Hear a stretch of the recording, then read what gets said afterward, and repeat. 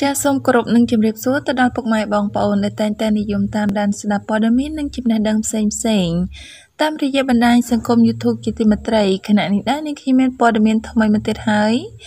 យកមកជម្រាបជូនពុកម៉ែបងប្អូនទស្សនានិងស្ដាប់កំសាន្តដែលមានចំណងជើងថាផ្ទុះការរិះគន់ពេញបណ្ដាញសង្គម Facebook ក្រោយពេលដែលសាលារៀនឯកជនមួយ ត្រូវបង្ខំចិត្តផ្អាកការសិក្សាចំនួន2ថ្ងៃមូលហេតុនៃបិទផ្លូវដោយសារតែចា៎ចាស់មនុស្សទៅដល់ខ្លឹមសារព័ត៌មានសូមពុកម៉ែបងប្អូនជួយចុច Subscribe ឬក៏នឹង Like និង Share ម្នាក់មួយដើម្បីទទួលបាននូវព័ត៌មានថ្មីៗជារៀងរាល់ថ្ងៃផងដែរចា៎ចាសាលារៀនមន្ត្រី Western អន្តរជាតិសាខាបឹងត្របែកទី1សូមជម្រាបជូនដំណឹងដល់មេដាបៃតា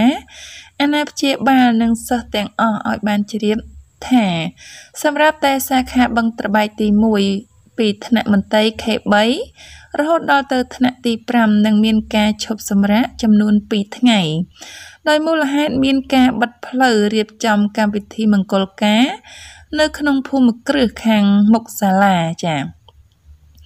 ចានៅថ្ងៃទី11ខែធ្នូនិងថ្ងៃទី12ខែធ្នូឆ្នាំ2019 ដោយសិស្សត្រូវចូលរៀនវិញនៅថ្ងៃទី13ខែធ្នូឆ្នាំ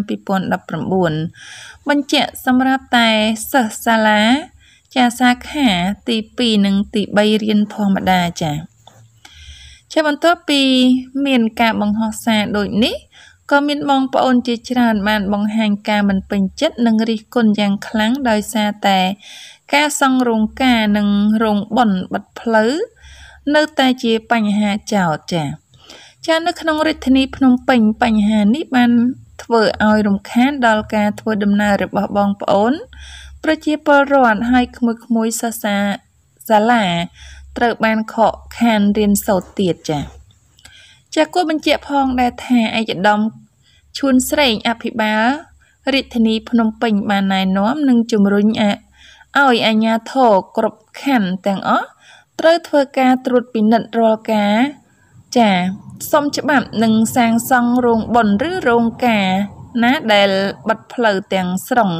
គឺមិនអនុញ្ញាតឡើយចា៎ចាឯកឧត្តមបានបន្ថែមទៀតថាការសាងសង់រោងបុនរោងការធ្វើឲ្យមានកកស្ទះចរាចរណ៍ដែលប្រជាពលរដ្ឋថ្នាំងថ្នាក់នាពេលកន្លងមកនោះ ចាគួរម្ចាស់រោងការឬរោងបុន រកទីតាំងណាដែលមានលក្ខណៈសមរម្យមិនបិទប៉ះពាល់ផ្លូវសាធារណៈចា៎ចាខ្លឹមសារព័ត៌មាននេះខ្ញុំបានជម្រាបជូនសូមបញ្ចប់ត្រឹមនឹងសូមអរគុណសូមជម្រាបលា